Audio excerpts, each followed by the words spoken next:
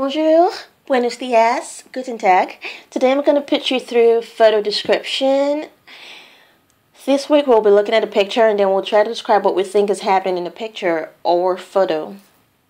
So take a good look at a picture, mark the objects, the colors, the gestures, the numbers, and now we're going to answer questions like what do you see in the picture?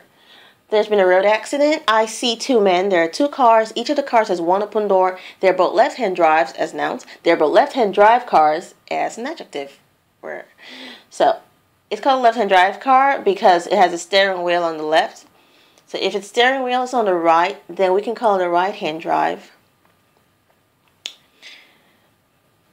Uh, what do you think about the scene in the picture? It looks like an accident scene. I think it's a minor accident. I think it's a minor accident because the cars do not seem damaged. None of the drivers seem hurt. I think it is a minor accident because the drivers do not seem hurt. I think it is a minor accident because none of the drivers seem hurt. So none can take both singular and plural verb forms. What do the two drivers have in common? Uh, the two drivers, they both have white shirts on. They're both standing outside their cars. They both have blue cars, but in different shades of blue. They don't seem happy at all. What do you think the man on the left is doing? So remember, there's left and there's right. So what is the man on the left doing? Uh, I think he's on the phone. It looks as if he's calling his insurance company. I think he's rounding up his phone conversation with his wife so that he can focus on the accident.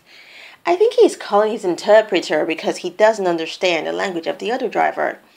He's holding the phone with one hand and is scratching his head with the other. Uh, my slides are kind of fast, so please you can pause to take a good look again. So what do you think the man on the right is doing? What do you think about the man on the right? So you can pause this slide to read everything and uh, we'll then proceed to the next slide because this slide's really fast. I probably didn't rehearse the timing, so maybe the next one will be more uh, effective and slower. I hope this is effective too. So now, can you try to describe this picture on your own? So take a good look again at the objects, the colors, the positions. You're going to be needing your prepositions, what the people are doing, numbers, and stuff like that. Thank you for watching. Please leave a comment or anything you think can help us to improve this presentation next time. Bye.